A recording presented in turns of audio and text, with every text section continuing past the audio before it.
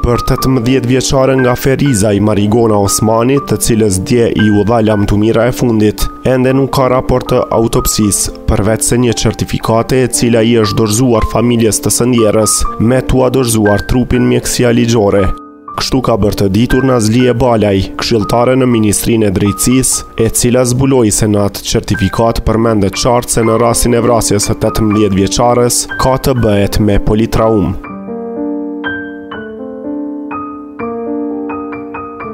Nuk ka ende raport të autopsisë, por ka certifikatë të autopsisë, sepse raporti i autopsisë përmbyllet kur të mbyllen të gjitha analizat laboratorike. Certifikata e autopsisë i lëshohet familjes dhe në të është e shkruar qartë dhe saktë se në këtë rast kemi të bëjmë me politraumë.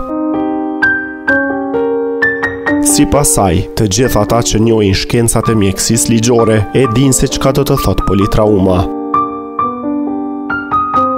Megjithatë, pohon se kur të përfundojnë edhe dy lloje të tjera analizash, atëherë përmbyllet raporti nga mjekësia ligjore apo ekspertët e mjekësisë.